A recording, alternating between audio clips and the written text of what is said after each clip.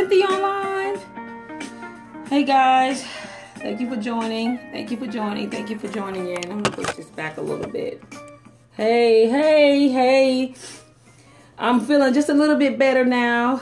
Coming up, coming up. So I want to jump on tonight. I thank you guys for joining in on tonight. Um, I've got a question for you. Let me turn this Is music your down. Fast or just fast enough? I have been like totally under the weather, like my tooth. I have a bad toothache, and what are they? What what are all your titles? Okay, well my title is um. Hey, Tamisha, for me, my title is I'm going to be talking a lot tonight about what's on the inside must come out. And so what that means is a lot of times, you know, we have well, before I get started, for those of you who do not know me, I am Tenisha Bibbs. I'm a licensed cosmetologist educator. I'm also a certified hair loss practitioner. And um, tonight we're going to be talking about uh, nutrition. And what is your title? Slow down. For those of you who don't know me, I'm Tenisha Bibbs. I'm a licensed cosmetologist educator. I'm also a certified hair loss practitioner. And tonight, what we're going to be talking about is um, nutrition. Thank you. Uh, nutrition. And so, what happened is a lot of times what we put on the inside of our bodies uh, comes out through, you know, I know you heard the term through our pores, but it comes out through our follicles and through our hair. So, a lot of times it have an effect on hair loss. Okay. Um, we are so prone in this generation to go to fast food, eat lots of sugar, processed food, um, filled up with dairy, like dairy diet plans and things like that. Also, meat and daily products, it will clog and, well, basically, will clog our system.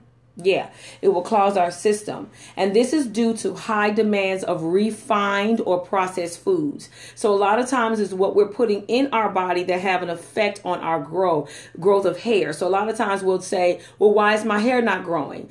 Um, and, and that could be a factor. I mean, that could be one of the factors that you're not eating healthy. Um, and even if you are eating healthy, you might not be getting a lot of the nutritional things that you need uh, to eat healthy. Um, and also one of the things are is we say, okay, if we're not eating our apples, fruits, and vegetables, because you know apples and stuff is filled up with a lot of sugar. Uh, we'll go to Walmart and Target and Walgreens, and we'll just pick up the little pill bottle, uh, the daily, you know, a day, one a day, and we think that we're actually getting the vitamins and the nutrients that we need. But a lot of times when you take that pill, you put it into your system. It takes three to six hours to build up in other words, it really ain't gonna be. It's not really building up.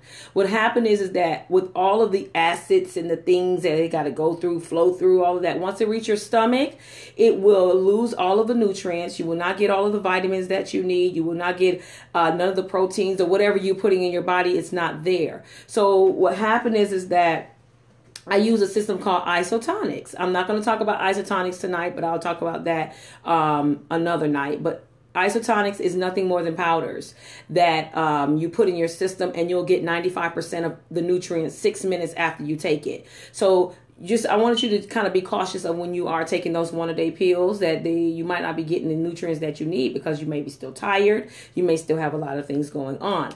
So as a rule, we eat more because our bodies require more food to receive the same nutrients. We take in more calories, but we are still not sufficiently nourished because of the fact that you know we're not taking our daily doses of um, nutrients minerals and things like that on a daily basis. Vitamins minerals plants and vegetable oils moisturizing products and protein substance are top typically um, helps us for nourishment to protect and also to groom the hair necessary. Okay, so you're going to need the vitamins in your system, you're going to need the minerals in your system, plants, and also vegetable oils and things like that to help nourish your hair. All right, um, there are there are second only to daily nutrients required that we need to maintain a healthy scalp and hair. Okay.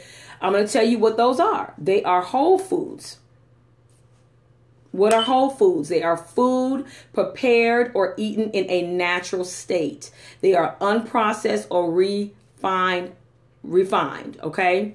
They are generally Um, they are generally not added, uh, no added salt, no added carbohydrates or fats.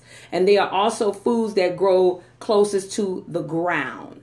All right. So three main reasons to eat your whole foods is going to give you that nutrients that you need. And it's also going to help with your healthy hair growth. Is is a natural source of dietary supplements. It's also good stuff, good stuff. Thank you. A greater source of more complex of micronutrients. Okay. It's also excellent source of dietary fibers, which keeps the colon clean and the body system strong. Okay. Um, you know, a lot of times, even with our whole foods, we still want to make sure that we're getting all of those nutrients and all, cleaning out all of our system and, and things like that. So you want to do a detox every now and then. You want to do maybe a seven or five day detox. And once you do that detox, then you can put the nutrients that you need in your hair. You take, make sure you take your vitamins. Um, but I'm not going to go into Isotonix um, tonight. It's just a little bit too much complex. I'll probably go into it a little bit tomorrow. Um, you also need um, um, grown vegetables such as fruits, plants, and other food substance that's going to help to maintain that healthy hair growth um, in your hair. Wheatgrass is a powerful detoxifier for the liver and the blood. A lot of times when you have things going on with your liver, liver or your blood, you will see it in your hair. You will see it in your follicles. We will be able to see it under a scope. All right.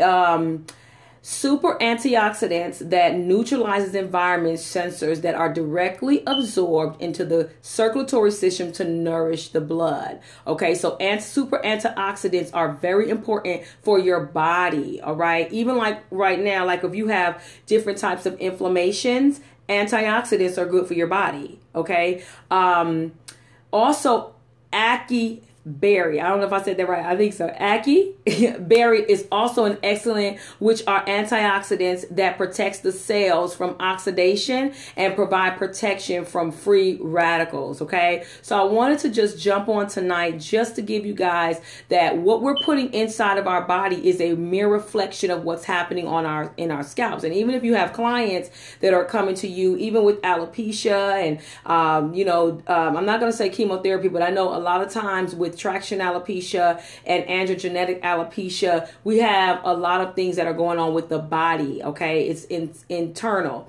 um, or it's auto. It could be also autoimmune. So you want to just make sure that you have a healthy diet and also a good supplement.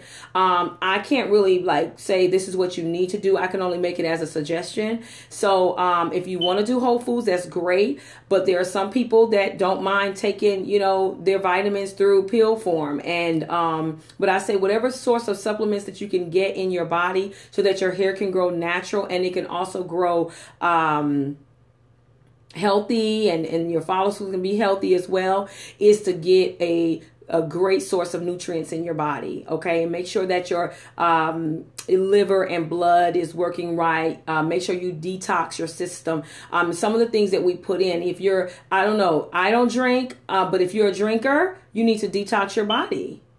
You need to. do, it's coming out of your pores um, you know, and so forth on. And your skin will start to look fresh. Your hair will start to look gorgeous. And for those of you who are dealing with and uh, alopecia, while you're under, um, you know, your, um, uh, I call it my 90 day challenge, hair rejuvenation. But if you're up under a hair rejuvenation challenge, I would suggest that you wear a custom wig, something that is customized for you so that you can um, go through this process and, you know, you won't have to give up uh, on it because it can be, you know, know, dra- dragging and things like that. And it can take some time. So I just wanted to jump on tonight just to thank you guys for joining. I wanted to jump on tonight just to share with you that what we're putting on the inside of our body is a mere reflection. April, yes, a mere reflection of what's coming out. And guys, listen, I wanted to have you guys join me on April the 9th with Miss Cynthia online. I will be doing a hair scope um, at um, Narcosco's in Atlanta, Georgia,